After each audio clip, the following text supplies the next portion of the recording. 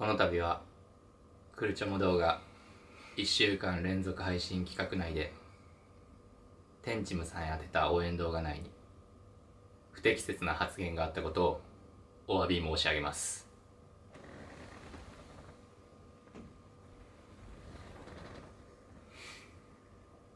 クルチョモチャンネル始まって以来の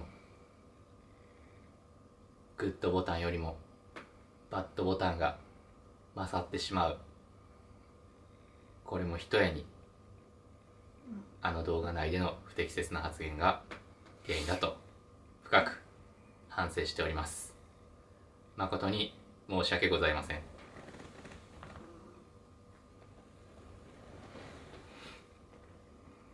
皆様のお怒りを買うのはもっともだと思っております。えー私チョモララズとテンチムさんは決して付き合っているわけではないのに彼氏面をして「お前」と呼んでしまいました。誠に申し訳ございません。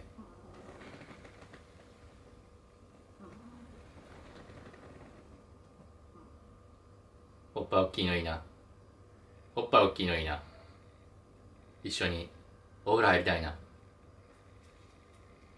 そう考えるうちにいつの間にか彼氏になっていました。誠に申し訳ございません。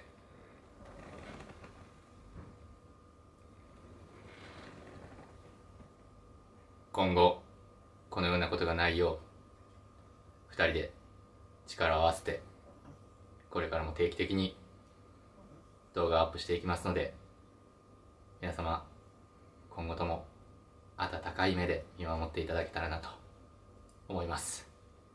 この度は誠に申し訳ございませんでした。